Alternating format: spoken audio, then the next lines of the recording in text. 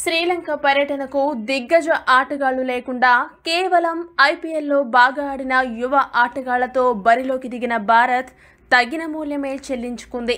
ముఖ్యంగా చివరి రెండు టీ ట్వంటీల్లో యువ ఆటగాళ్ళు ఆడిన తీరు మరీ ఘోరంగా ఉంది. ఇప్పుడున్న యువ ఆటగాళ్ళలో ఎంతో కొంత సీనియర్ అయిన wicket keeper batsmen Sanju Samson batting మరీ దారుణంగా ఉంది. జట్టులో తన స్థానాన్ని సుస్థిరం చేసుకునేందుకు వచ్చిన అవకాశాల్ని తాను ఉపయోగించుకోలేకపోయాడు. ప్రపంచ కప్లో చోటు దక్కడం అటుంచి ఇకపై ఇండియన్ టీంలో అతడికి మరో ఛాన్స్ వచ్చేలా కనిపించడం లేదు.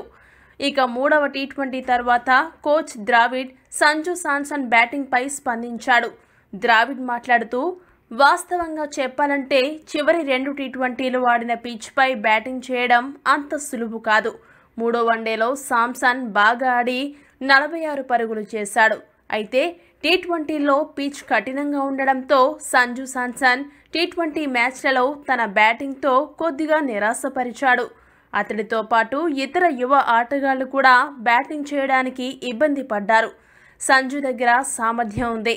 అయితే ఆ సామర్థ్యాన్ని అవసరమైనప్పుడు సరైన సమయంలో వినియోగించాల్సిన అవసరం కూడా ఉంది. యువ ఆటగాళ్ళలో చాలా మంది ప్రతిభావంతులైన వారు మరియు అద్భుతమైన ఆటగాళ్ళు ఉన్నారు. అయితే వారు బాగా ఆడేందుకు కొంత సమయం పడుతుందని ద్రావిడ్ అన్నాడు. ఈ వీడియో కనుక మీకు నచ్చినట్టయితే లైక్ షేర్ కామెంట్ చేయండి. మరిన్ని స్పోర్ట్స్ అప్డేట్స్ కోసం మా ఛానల్ను సబ్స్క్రైబ్ చేసుకోండి.